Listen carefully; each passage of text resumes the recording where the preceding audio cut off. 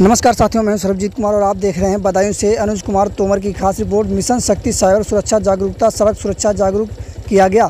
बदायूं दिनांक 19 सात 2023 को सड़क सुरक्षा पखवाड़ा 2023 के तहत मुख्य अतिथि पुलिस महानिरीक्षक बरेली, परिक्षेत्र श्री डॉक्टर राकेश सिंह, आयुक्त बरेली मंडल श्रीमती सौम्या अग्रवाल तथा वशिष्ठ अतिथि जिलाधिकारी बदायूं श्री मनोज कुमार तथा वशिष्ठ वरिष्ठ पुलिस अधीक्षक बदायूं डॉक्टर ओपी सिंह द्वारा, Asim Siddiqui memorial degree college Badaun में शासन द्वारा चलाए गए सड़क सुरक्षा पखवाड़ा अभियान में दृष्टिगत जागरूकता रैली को हरी झंडी देकर रवाना किया गया।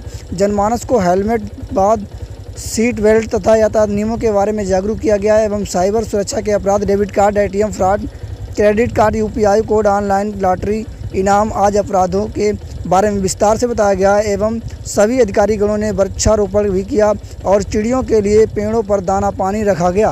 पूर्व वक्ताओं ने काफ़ी बताया भी। और जब मुझे पता चला कि कॉलेज जो नॉर्वे जी चला रहे हैं और ये जो है यूएस बेस्ड इंडियन है या इंडियन बेस्ड यूएस की एक कह नहीं सकता मैं, लेकिन पचास वर्षों से लगातार ये जो है वहाँ से जुड़े हैं और यहाँ से भी जुड़े हैं। जैसा कि हमारे पूर्व वक्ता एस बदायूं कह रहे थे कि लोगों को लाने की बात है। और ये जाकर भी जुड़े हुए हैं तो एक खुद एक प्रेरणा है कि पिछले पचास वर्षों में रह करके भी यहाँ आते हैं, लोगों से समझते हैं अपनी सभ्यता को, कल्चर को, इस व्यवस्था को। और यहाँ से जो भी लोग बदाई लोग हमको आगे ले जाने के लिए तो इनका बड़ा योगदान है। इसलिए मुझे लगा कि इनके कॉलेज में ज़रूर चलना चाहिए। और कई कार्यक्रमों को छोड़ने के बाद कमिश्नर साहब से मैंने अनुरोध किया को चले, वो तैयार हो गई। लोग आए और एक अच्छा कार्यक्रम हुआ।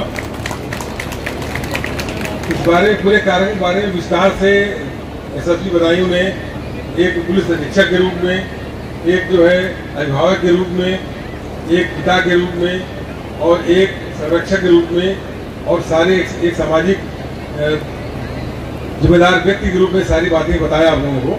मैं समझता हूँ कोई आयाम उन्होंने छोड़ा नहीं किस विधक को कोई अब कहने के बचा हो। इन्होंने घर की समस्याओं से लेकर के नारी उत्थान को लेकर के और अपने जो सामाजिक संरचना है परिवार की, उसके पहलुओं को भी नज़र डाला, आप लोग प्रेरित किया और महिलाओं को आगे आने के उत्साहित किया और खुद भी उसमें अपने अनुभव के साथ जोड़ा इसमें अपने संघर्षों से जोड़ दिया, जिससे कि आप आगे आए और इस तरह से जो है प्रेरणा लेकर के कुछ बने और कुछ योगदान दें। नारी शक्ति का कार्यक्रम हो, सड़क सुरक्षा का हो, साइबर सुरक्षा का हो, इन सारे विषयों पर आज विस्तार से यहाँ प्रकाश डाला गया। निश्चित रूप से सभी छात्र इन विषयों से लाभान्वित होंगे, जो परिचर्चा यहाँ हुई, जो कानूनी प्राविधान उन्हें बताए गए, उससे उन्हें लाभ मिलेगा, क्योंकि समय का अभाव है और इतने प्रेरणास्पद और इतना मोटिवेटिंग स्पीच थी कप्तान साहब की, और साथ ही जितनी चीज़ें यहाँ बताई गई तो मुझे लगता है यदि मैं उसमें कुछ और जोड़ूँगा, कुछ एडिशन करूँगा तो पुनरावृत्ति होगी। तो मैं इस अवसर पर इस कार्यशाला में जो आपने सीखा, जो सुना, उसकी सफलता की और ये मानते हुए कि आप उसको अपने जीवन में अंगीकार करेंगे, आपका भविष्य सुखद होगा और सुरक्षित होगा। इस कामना के साथ मैं अपनी वाणी को आज यहीं पर विराम दूँगा, और बहुत शीघ्र ही अगले एक कार्यक्रम की प्रतीक्षा रहेगी, जहाँ पर्याप्त समय के साथ एक बार हम लोग पुनः मिलेंगे। बहुत बहुत धन्यवाद। जय हिंद।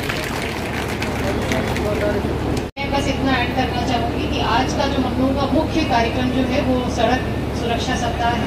और हम सब लोगों का यहाँ पे आना और इकट्ठा होना तब सार्थक हो जाता है। अगर इस कार्यक्रम के क्रम में आप लोग अपने में या अपने आसपास के लोगों में कोई बिहेवियरल चेंज ले आते हैं। से फॉर एग्ज़ाम्पल आज बहुत सारी बातें हुई कि हम लोगों को हेलमेट लगानी चाहिए सीट बेल्ट लगानी चाहिए। ट्रैफ़िक रूल्स का पालन करना चाहिए। तो आप लोगों में से अगर कोई ऐसा है जो हेलमेट्स नहीं यूज़ करता सीट बेल्ट नहीं लगाता तो अगर उस चीज़ को आप लोग चेंज कर लेते हैं तो हम लोगों का यहाँ पे आना, साथ बैठना, ये गोष्ठी करना, सब चीज़ जो है फलीभूत हो जाता है। तो मैं इसके लिए आप लोगों से पुनः एक बार अनुरोध करूँगी और बहुत ही बेहतरीन कार्यक्रम आयोजित आयोजित कराने के लिए कॉलेज के मैनेजमेंट को धन्यवाद दूँगी। और यहाँ के जो एसएसपी हैं डॉक्टर ओ पी सिंह उनको भी बहुत बहुत धन्यवाद दूँगी। Thank you